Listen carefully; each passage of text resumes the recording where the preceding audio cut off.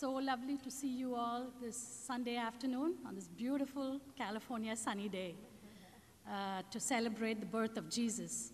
We're so excited to worship together and to join in singing and watch our children perform today. Without further ado, I'll get this worship service started. Thank you. Good afternoon, everyone. A very warm welcome to each and every one of you uh, as we join together for this year's carol service.